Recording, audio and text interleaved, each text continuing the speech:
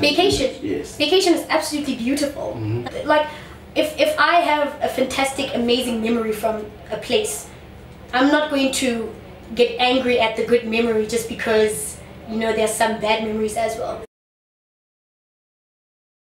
Um, I think it's just an honest conversation. Um, I wasn't trying to hide anything. I wasn't trying to fake anything. I wasn't trying to, um, I don't know, make things up. It was just an honest conversation, and you either like it or you don't. You either like me or you don't, and that's just how it is.